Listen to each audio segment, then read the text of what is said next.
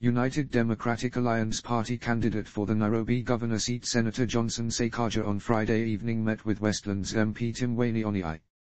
The meeting came hours after the Azimio la Umoja One Kenya Alliance unveiled its Nairobi lineup where it was announced that Wanyonyi will be going back to defend his parliamentary seat. Speaking to the Star after the meeting, Sakaja said that they met with an aim of working together. We just met to consult as brothers after the decision they made. That is what happened. I am looking forward to working together with him. What we have realized is that we have the same vision, and that is important than anything else Sakaja said. However, a close source to Wanyonyi told the Star that the meeting was not predetermined. We just bumped into each other.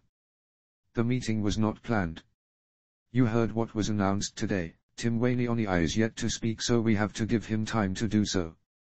As far as I am concerned, he is still in the Azimio the source, who sought anonymity told the Star. MP Wanyonyi did not pick up our calls by the time of going to press.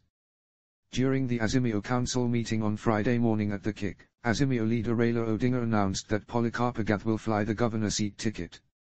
The Sakaja, Wanyonyi meeting has elicited mixed reactions among Kenyans considering the two are from different political factions.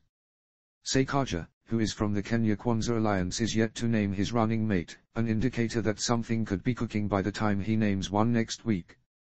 Sources say that the senator will name his running mate next week.